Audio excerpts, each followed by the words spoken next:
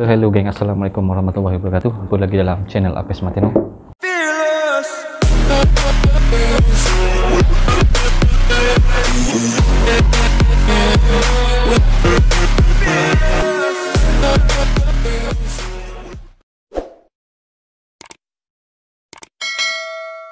Alright, so untuk video hari ni aku just nak buat satu review satu helmet ni. It's actually helmet ni aku dah beli setahun yang lepas. Cuma aku tak pakai sebab aku turn off dengan satu benda. So masa aku beli helmet ni aku tengok benda tu yang itu memang aku tak suka. Okay, so since aku dah beli MT online ni dan helmet tu pun aku dah simpan setahun so tiba masa aku keluarkan daripada store and then aku kena adapt lah benda yang aku tak suka alright so helmet apa? jom so inilah dia guys helmet KYT ni adalah KYT TT Cos Grand Prix White Blue. Ah, susah pun nak sebut. So kat sini ialah Sasco KYT TT Cos Grand Prix White Blue. Eh kat sini eh. So inilah helmet dia. Gabuk-gabuk. Ush gabuk ok kita unbox eh. Rear visor. Aku dah tukar visor pelangi. Ada juga manual book ada beberapa stiker lah KYT kita tarik keluarkan dia punya helmet. So kita buka daripada bag dia. Huh. inilah dia. Sasco white and blue. Aku dah tukar siap-siap dengan visor gold ke pelangi? Gold inilah dia kan? Bruh. ok inilah helmet yang aku beli tapi aku tak pakai. Ah bau getah dia kuat lagi. Sedap siup design dia ni memang ni dah ada siap ada spoiler. Memang bagus lah untuk high speed. Ni ada lubang angin ah, function tak function kita tengoklah nanti masa naik motor.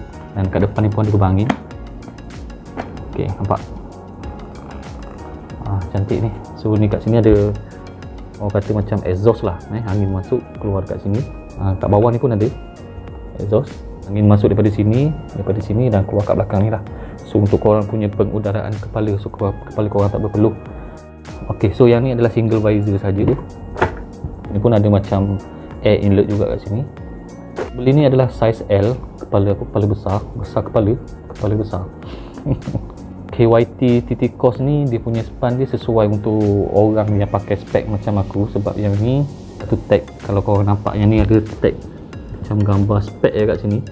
So helmet ini sesuai untuk orang yang pakai spek lah macam aku. Tak pernah pakai buat ride lagi ni. Kat mana aku beli? aku beli helmet ni daripada kedai penjual helmet.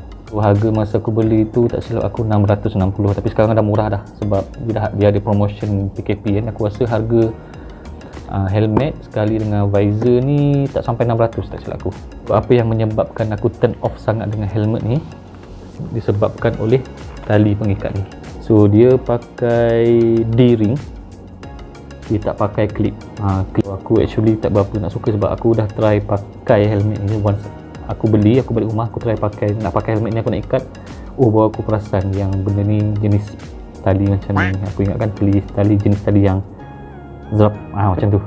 Aku pakai je lah walaupun tak kena dengan color motor. So maybe maybe nanti aku nak wrap stiker lah helmet ni. Okay, dia sesuai dengan color motor ok jom aku try pakai. Oh getah rambut sibuk juga. Ah.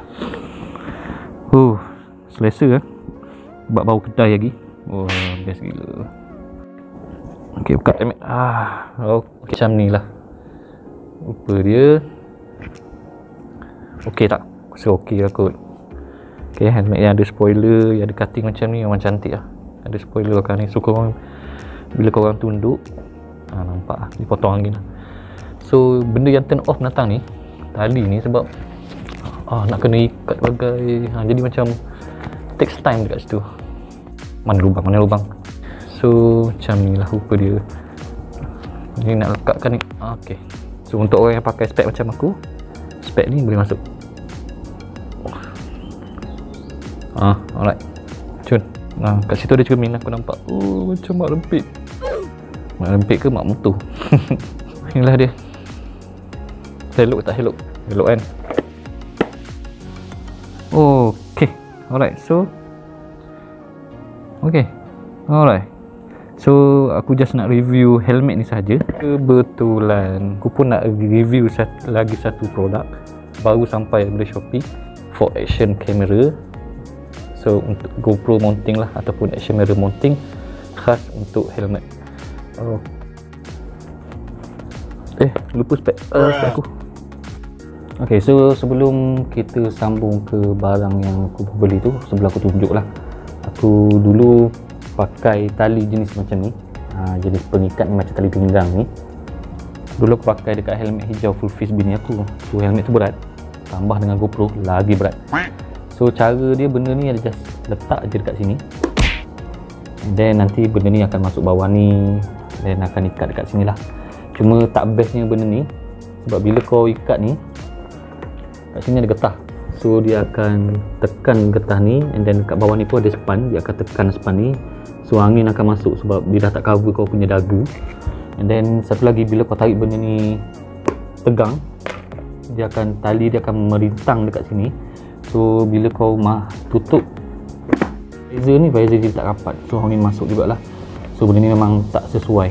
And then ada juga jenis orang yang buat mounting GoPro yang kecil tu ditampalkan kat sini pakai sugru gam sugru.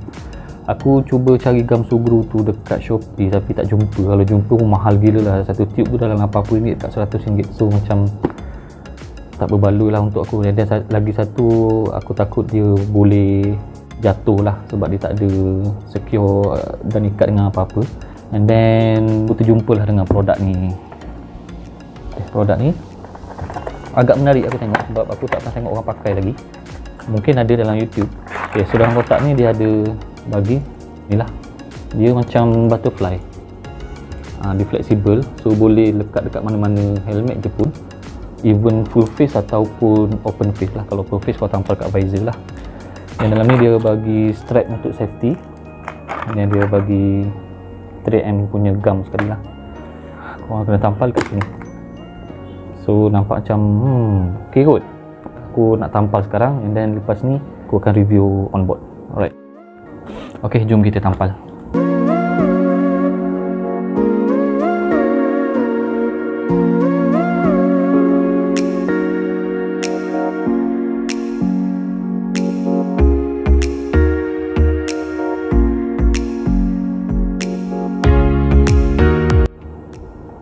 rasa macam dah okey. Alright, so macam ni. Okey kan. Tali ni ikat benda ni. Ha, ikat benda ni dekat sini and then kau ikat dengan kau punya GoPro lah. Takut kau punya GoPro tu jatuh. So, ikatkan GoPro lah pula lah. So, okey kita ikat macam ni lah. Okey, so macam ni je. Ha, ha, cantik. Cun. Visor ni nak buka dia punya ni ada kat sini. So, hmm, susah jugalah nak buka visor nanti nak kena GoPro nak kena alihkan lah. So Alright. macam ni je lah. Macam ni je lah. Ok tak? So untuk mic kita boleh cucuk dekat adapter ni. Cucuk je sini. Alright. So mic kita masukkan kuasa kena masukkan ikut atas. Kuasa bateri ikut atas. Untuk visor. Ok dapat. Rapat tak kacau ah sedapnya bau getah dia. Remote ni kita cari cara lah sedik dalam ni. Wire ni kita secure betul-betul tak nak bagi terjuntai ke apa. Ok aku nak buat benda tu dulu dan lepas ni kita on board. GoPro dah siap pasang. Mic aku letak kat sini je. Aku kepit kat sini aku tak ada tempat yang sesuai lagi. Seeloknya mic ni letak dekat berhampiran dengan mulut lah tapi aku rasa once visor ni kau dah uh, kau dah turunkan so dalam ni dia agak bergema. So mic ni akan dapat jugalah tangkap kau punya suara. Alright so macam mana? Ok tak? Aku rasa ok kot? Ok lah jom lah oh. ok ringan. Ah, ah ok ringan-ringan kita pergi board pendapat aku tentang helmet ni? Helmet ni size L macam yang aku cakap tadi. So dia akan tekan sikit korang punya muka tu lah dekat pipi tu lah. So memang helmet pun memang nak kena pakai nak kena pakai ketat lah kalau tak nanti longgar kan. Bila korang bawa laju nanti helmet tu terangkat. So far ok untuk helmet yang berharga bawah 600 huh, panas siut. Uh, lama pula traffic light kat sini. Kereta sikit tak payah. Traffic light lama-lama. Pakailah sensor ke apa ke. So macam mana korang rasa aku punya helmet ni pandang kanan pandang kiri Kereta tak banyak Lampu hijau lama pula tu 3 minit lah ni Gantung lah ni uh.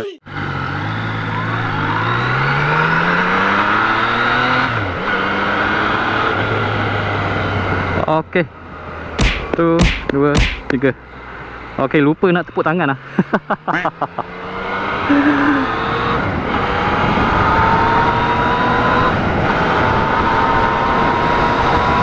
so, macam mana? Lupa. Okey tak?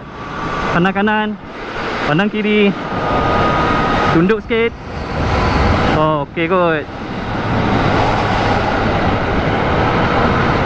Cuma video footage lah Tak tahu lagi audio dia macam mana kan Sebab kalau biasa pakai full face Audio dia akan dengar kuat sikit lah Kurang bunyi angin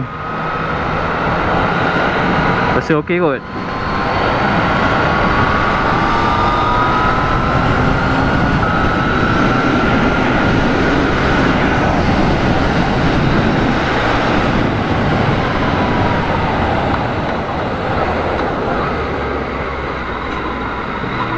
boleh buat laju lah. Takut barang terbang daripada poket lah